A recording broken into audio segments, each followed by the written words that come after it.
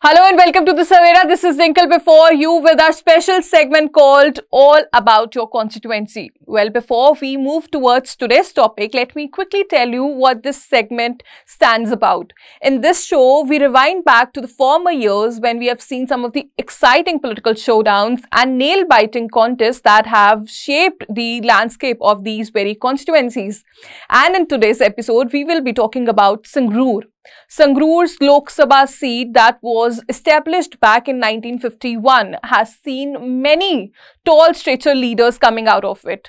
We are talking about the current CM also Chief Minister Bhagwant Mann who debuted in political arena with Sangrur's MP seat starting in 2014 when he defeated Shromani Akali Dal with a massive margin of one over 1 lakh votes.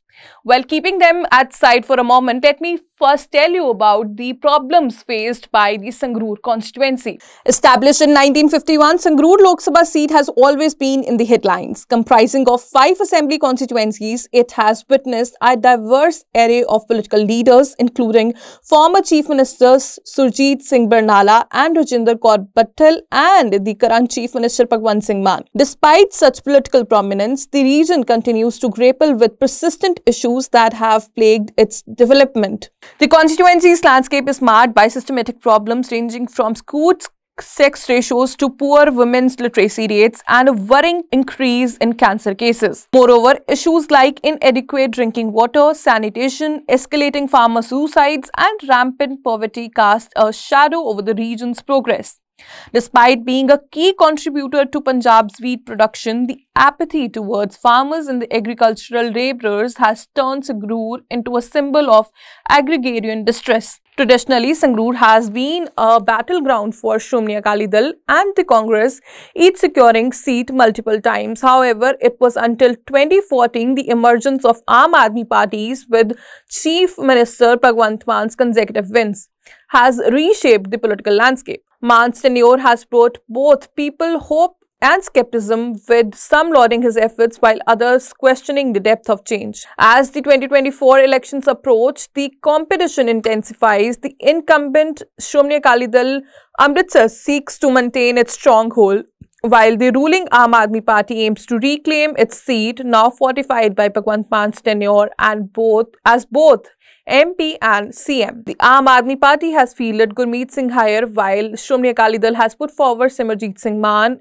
ensuring a fierce electoral battle. However, three major parties, BJP, Congress and Shromani Akali Dal are yet to announce their candidature from the region. To present you the clear picture from the past, let me quickly take you through the former four terms of Lok Sabha Assembly seats from Sangrur to tell you how political parties have performed starting from 2004 to 2020. 2019. In 2004, the Sangrur seat was gained by Shromani Akali from Shromani Akali Amritsar Party. The major fight was between Akali Dal and Indian National Congress with the Akali candidate Sukhdev Singh Dhindsa of becoming victorious by gaining 2,86,828 votes. In 2009 general elections, Sangrur's seat was gained by Congress from Akali Dal. Sangrur was won by Congress candidate Vijay Inder Singh Singla. Singla emerged victorious by securing 3,58,670 votes. His rival Sukhdev Singh Dhindsa of Shromani Akali Dal won 3,17,709 votes, which accounts to 34.13% vote share. In 2014, the incumbent Chief Minister Bhagwant Mann became became Member of Parliament for the first time by winning huge mandate. In 2014, Bhagwant Mann, AAP's candidate, received 5,33,237 votes.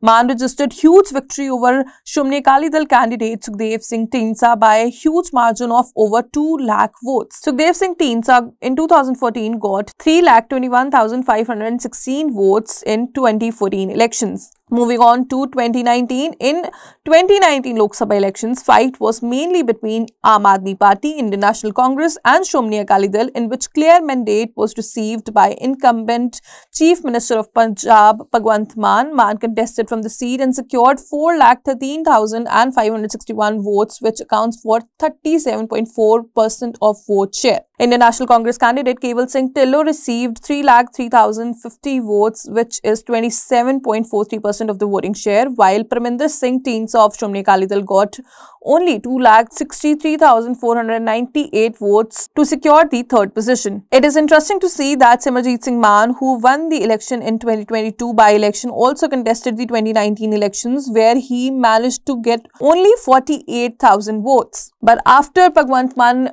vacated the seat uh, winning the assembly elections of 2022 the by-elections were held which were which were won by Shromani Akali Dal Amritsar candidate Simarjeet Singh Mann who is now again set to contest the elections from the same region well, that's all in our today's All About Your Constituency segment. For more updates on Lok Sabha elections, stay tuned to the Savera.